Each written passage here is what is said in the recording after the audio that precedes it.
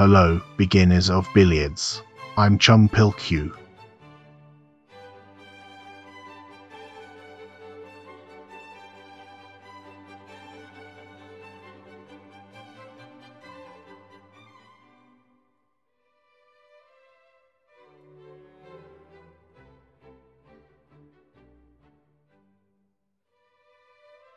The manager of the Naver.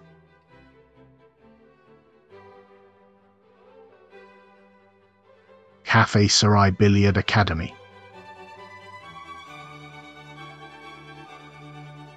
In order to help you beginners, I've put together an easy billiard theory and posted it online, but I know many of you found it difficult with terms and such. I'd like to make the Easy Billiard series. I've posted online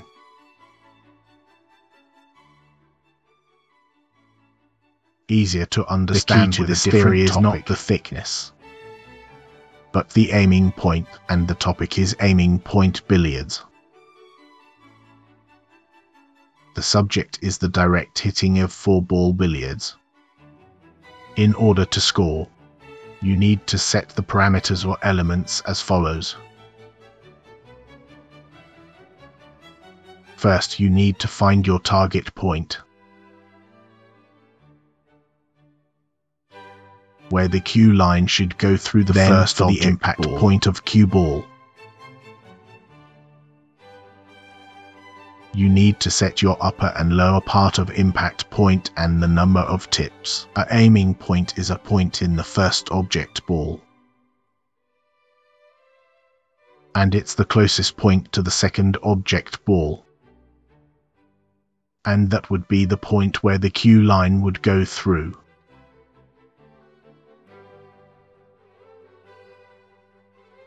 In this picture, the aiming point would be the light green point here. When hitting the first ball with a cue ball, and then hitting the second ball.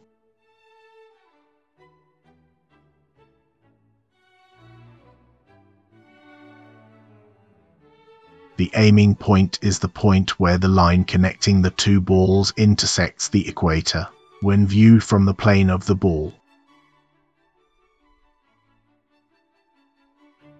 This point is the closest to this ball. It will come into contact at if this you point. come along the line in this image.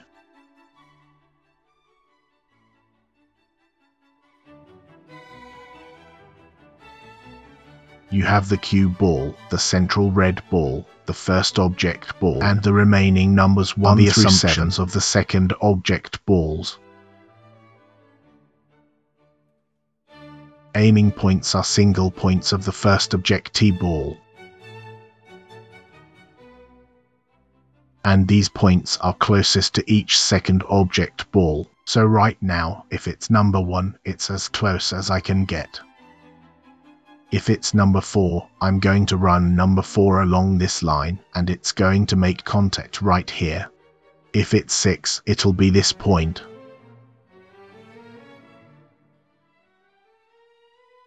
This line connecting the two balls. And the intersection with the equator in the first they'll come into contact at the convex equator. You can think of it as an aiming point. In the previous picture, numbers 1 through 7 were second object balls. But now we're assuming they are cue balls, even though the cue balls are in different locations. If the first and second object balls are in this situation, aiming point is only one. Let's look at the lime green target point again. This is the lime green target point right here. First, this is the one point on the first object ball, one point on the first object ball. Secondly, the closest point to the second object ball. This point is the closest point to the second object ball. It's the intersection of the two balls' pivotal junction with the equator. The center point of the two balls, which is the core of the Earth, is the intersection of the center line with the first object ball, which is intersecting with the equator.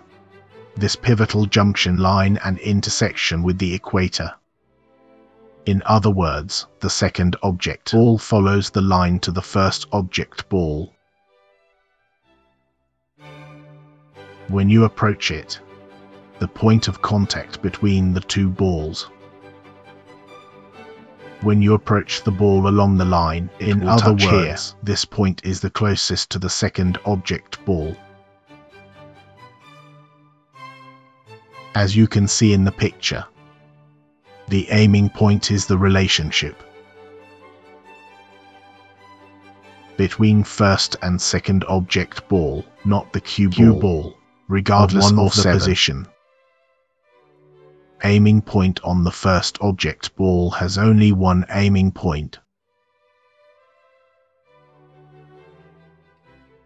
If it's number 1, it'll be pushing right since numbers 4 to 5 6 and 7 have to be dragged or drawn. I will give them the bottom or lower part, so you can only change the point of play to hit the second object ball. So that's the conclusion. We'll look at it more closely later. We'll look at how you set the upper part or lower part of play on cue ball. If the cue ball and first object ball are fixed, and the second object balls are placed around them like this. The angle of the object ball will determine whether to give the upper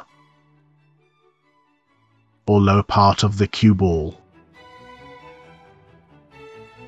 It says cue ball, first object ball, except for the these rest two second balls, object everything balls. else is assumed to be the second object This ball. lime green line is.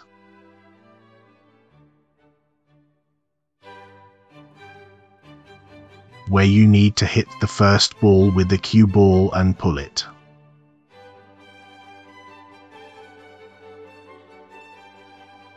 Less acute angles, including 90 degrees. If it's acute angles, you have to drag it. Since the ball hits and you have to move backwards, let's make the bottom the target point. The bottom indicates 6 o'clock. And the top part of the yellow-green ball is at an angle of over 90 degrees after hitting the ball, so it's the obtuse On angle the obtuse part. part. The cue ball has to push the first object ball. Since we have to move forward, we have to hit the top of the ball. The top part is 12 o'clock. Direct hitting in the Korean four-ball system is not done with a cushion. Direct hitting is done at 6 o'clock or 12 o'clock direction. It's better not to give a left-sided or right-sided spin because the aiming point changes. It's more difficult. Even in the same clockwise direction, the angle of bending varies depending on the number of tips.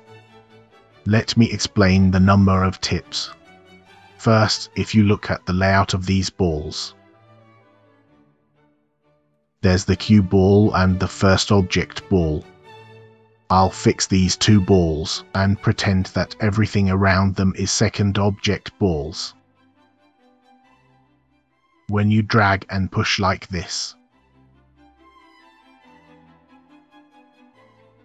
Let's examine when you give two tips, or when you give three tips.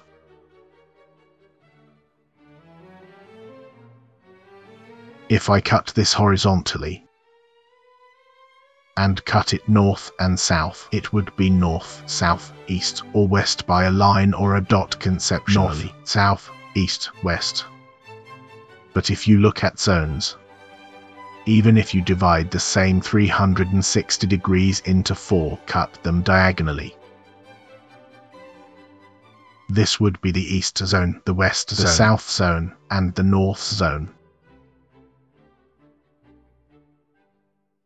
If you divide the total 360 degrees into four diagonal sections, north, south, east, and west by 90 degrees,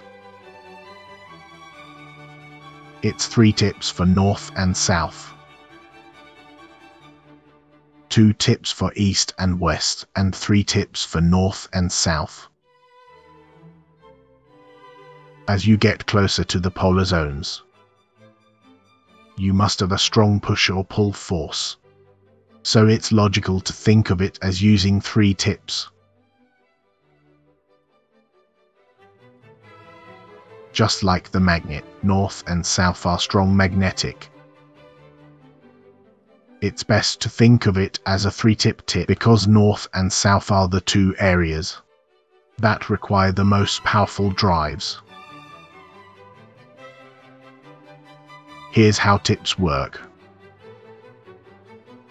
First, let's take a look at this chart. The diameter of a three-cushion ball is 61.5 millimeters. The tip is at the end of the cue. Its diameter is 12 millimeters. One tip is usually 6 millimeters. That's not 12 millimeters, that's the radius. Every time you change a tip,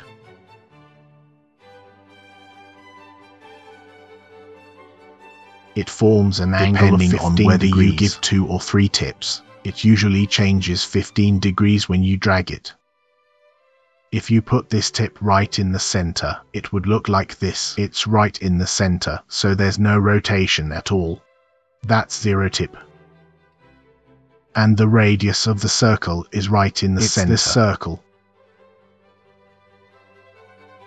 It's a half tip if it exceeds the radius of 6 millimeters. It becomes 2 tip if it exceeds 6 millimeters. It becomes a circle because it's in the middle. It becomes a circle and it becomes 3 tip. So if your one tip is not 6 millimeters, but 12 millimeters, 3 tips is 36 millimeters.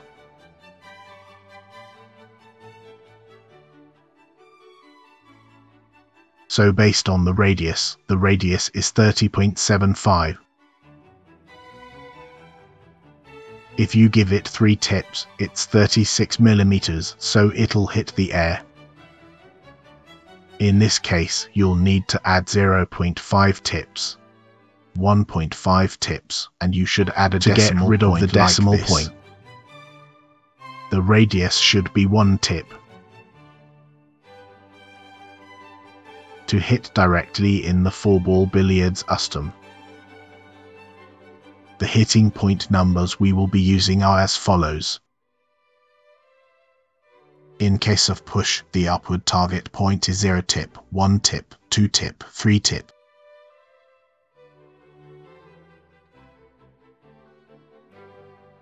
In case of pulling or drawing, the downward target two tip, is 0 tip, 1 tip, to get a direct hit. It is more accurate to not give left or right spin. Let's summarize what we've learned so far. As you can see, these balls are a cue ball and the first object ball. Two fixed and then like second object with light green line around it. it. and then the bottom area is the drag zone. So the bottom area of the cue ball is 6 o'clock. And the top part of the yellow-green area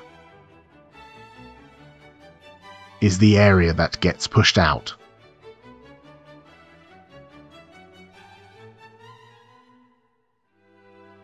So use the top part of the cue ball.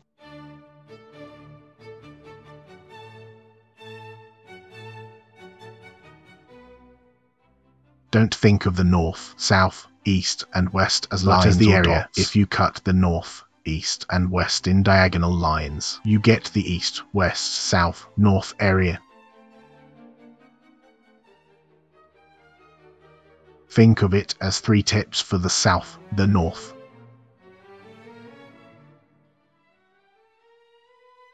The polar regions and two tips for the rest, the east and west. Now let's aggregate the aiming point, the upper and lower points, and the number of tips. The aiming point in this case number 1. When you hit the first object ball with a cue ball, when you hit number 1, the aiming point is here. This is the closest point to this number 1 ball.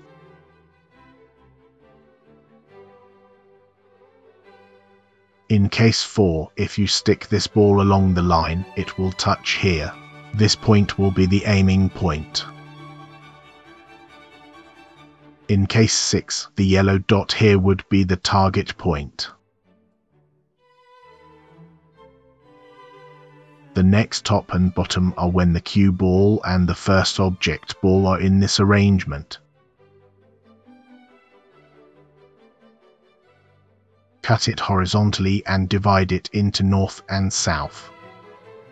Since it corresponds to the drag from 90 degrees 4, 5. 6 and 7 hit the bottom. It's about aiming at the bottom of the ball and making it spin counterclockwise to make it drag numbers 1, which correspond to an obtuse side of this ball. They're north of this ball, therefore 1, 2 should give the three, upper point, so that they can move forward.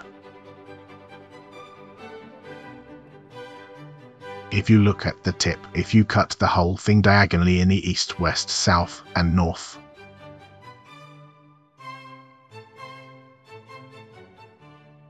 This side is east, west, south, and north. Numbers 1 and 2 represent the north. 1 numbers. and 2 represent the north numbers. 6 and 7 represent the south. Within 45 degrees of this area, line. within 45 degrees of this line is the polar region. In this case, 3 tips. And 3, 4, so you 5 only need to area. give 2 tips to this area.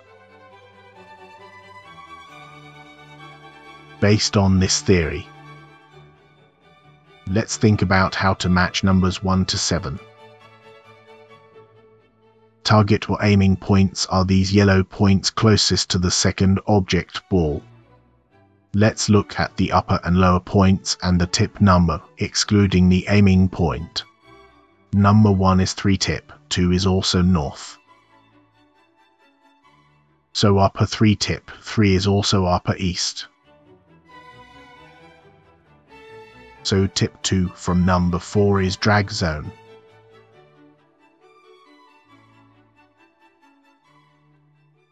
So lower 2 tip. This also east, so lower 2 tip. 6 is south. So lower 3 tip, 7 is also south. So that's the bottom 3 tips. Let's take a look at the demonstration.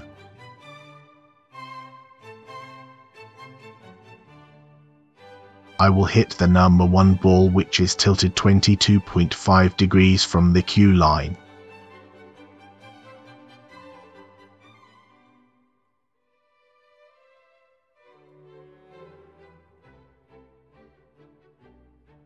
The aiming point is the closest to the second object ball.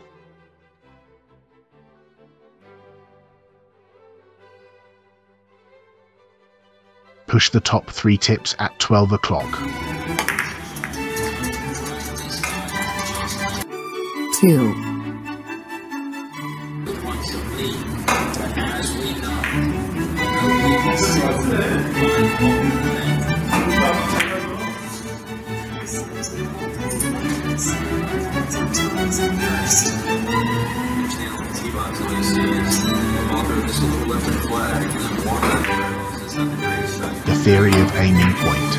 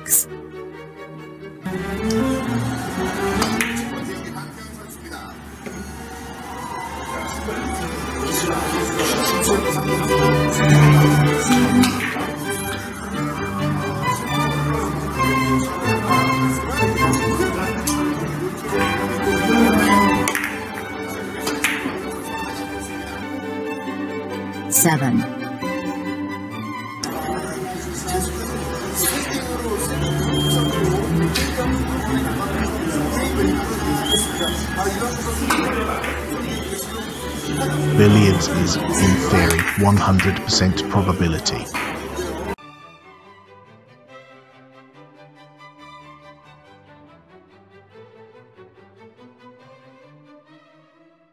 Because it's based on a aiming point, not a thickness. But to increase the chances of success, there are prerequisites. First of all, the shot has to go straight out. It can't be crooked, right? Secondly, even if it is the same push and pull, it is proportional to the quality of the shot. Next time, we will look at the pull and that Push moves. beginners find difficult. First, we're going to look at the posts in the cafe about drawing shot. This is the theory of drawing, which plays a large part in the game of four ball. There is a source. 1. Choke up. 2. Aim low on the cue ball. 3. Keep the cue as level as possible. 4. Use the proper bridge length. 5. Keep your grip relaxed. 6. Use a comfortable and stable bridge. 7. Keep your elbows still into the ball. The moment you finish playing the cue ball, the upper arm often comes down 8. Go back slowly. Accelerate forward smoothly. 9. Follow through and stay down. There's a picture at the bottom. There is the video related to this, and related literature. Look at the pose. At this address when you have time. As for pushing, you can find it on post 1622. It's the most probable and utilitarian way of aiming for the This image of introduce how to look at this invisible spot. behind the first object ball. Please read it when you have time.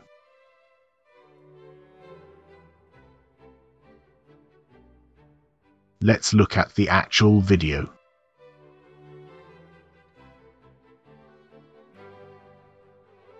The short distance pushing. This time, the long distance pushing.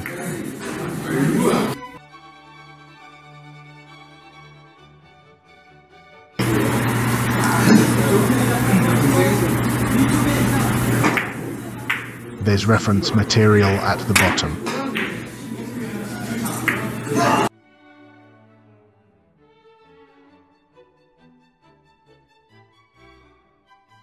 Make sure you take a good look at this part in particular. And this is also good. Reference for pushing. What you've seen so far can be seen as a summary of the planning series, The Easiest Billiards, which is already on the internet. If you would like to see detailed information about the aiming point you billiards, can watch the Easiest Billiards planning series on YouTube or Naver As TV. you can see from the title, it is written like a paper. There is a general overview and logical, practical, and empirical examples. What theory is it based on? And here you can see what theories you need to supplement to become more advanced to watch player. Easy Billiards videos. You can easily access it by searching for Easy Billiards on YouTube or Google, or Easy Billiards Playing Series on Naver. They're in order from no 1 to no 5. So please watch them in order. I'll search the special series about billiards on Naver. If you type in Easy Billiards, you'll see a video at the bottom. If you look at more videos, 10 related videos are searched on Naver TV and YouTube.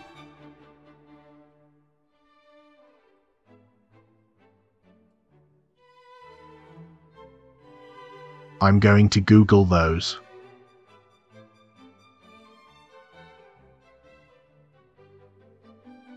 On the first screen, you'll see video number Please view one. video numbers 1 through 5 in order.